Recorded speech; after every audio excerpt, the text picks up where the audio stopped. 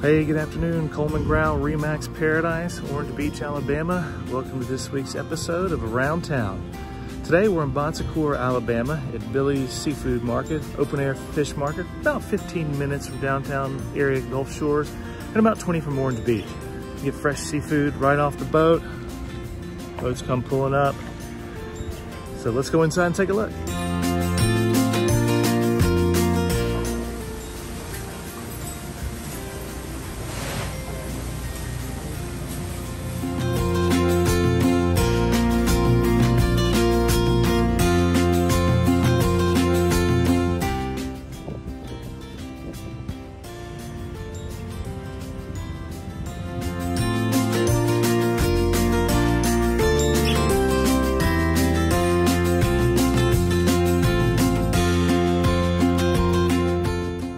While you're down here on vacation, don't forget to swing out to Bon Secour, Alabama. You can get, like I said again, out here at Billy's Seafood for all your fresh local Gulf seafood.